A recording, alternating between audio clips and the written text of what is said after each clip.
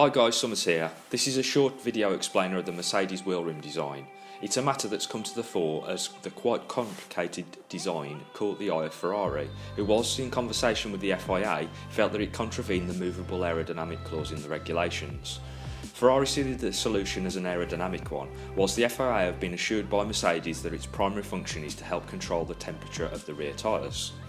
This has been an issue for Mercedes for many years, and we've seen them deploy several solutions down the years to try and help manage rear tyre temperatures, so it's no shock to see that they've tried something different here.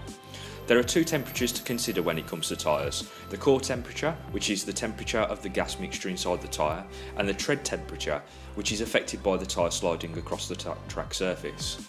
In order to get the best from the tyre, there is a temperature sweet spot between both of these, the holy grail as it were, and one that gives the best performance over the course of one lap or a stint. The new wheel design used by Mercedes features several parts to it, the first of which, and the one which caught everyone's attention at the beginning, are the fins that are placed on the outer face of the wheel, on the left hand side in this picture. We've seen other teams such as Red Bull and Force India use these fins in the past, albeit not as large as the ones used here by Mercedes. However, the recent furore caused by Ferrari has required us to dig a little deeper, finding several other dis discrepancies between the new and old designs. If we take a look at this wonderful picture captured by Tobi Grüner for Auto Motor und Sport, we can see that the team have amended the locator ring that's housed on the wheel's central hub. It now features these small pinholes, shown here with the red arrow, whilst also inside the wheels the centre bore we can see several holes too, shown here with the white arrow. The previous locator ring was a little more simple, with larger holes that lined up in a similar way but had been covered over with some sort of silicon or resin. This picture from a pit stop in Singapore was to hand and it shows the practice on the front wheel. So let's break it down a little with a series of cross-section diagrams. Please be aware these are for illustration purposes only and aren't wholly accurate, but build a picture of how the wheel is presented. Next, we must also take into account a design feature of the Mercedes wheel rims in recent years, which is the hollowed out spokes.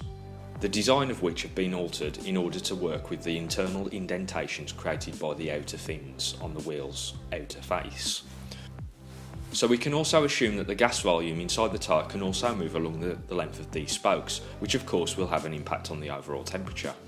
This also means at the inner end of the wheel, the gas will meet with the cylindrical chamber in the centre of the wheel, highlighted in yellow, and by means of thermal conductivity, they could exchange temperature values, with the resultant warmed or cooled air left to escape out the axle via the centre bore holes.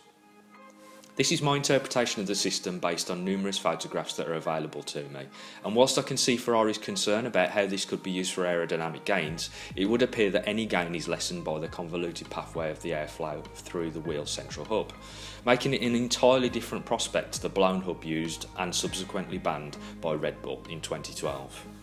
credit where credit's due to any of the photography that I've included in this uh, short video and also thanks to the patrons uh, for their help in being able to get uh, this kind of content out.